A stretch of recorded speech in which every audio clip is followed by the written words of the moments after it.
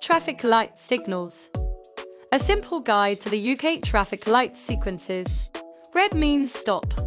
Wait behind the stop line on the carriageway.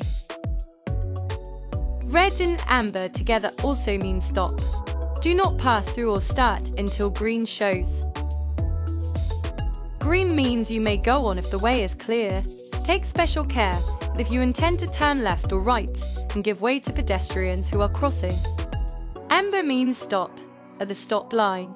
You may go on only if the amber appears after you have crossed the stop line or are so close to it that to pull up might cause an accident. Then back to the red light again. Traffic light signals with the light sequence we have just covered will be found at traffic light controlled junctions.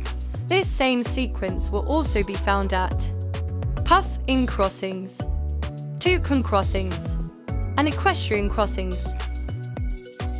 Traffic light sequence that differs from the standard sequence can be found at pelican crossings. Here, the light sequence is red.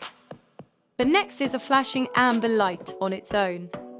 As a driver, when this light shows you must continue to give way to anyone still using the crossing. If the crossing is clear and it is safe to proceed, you may go when the light is flashing amber. The green light shows next.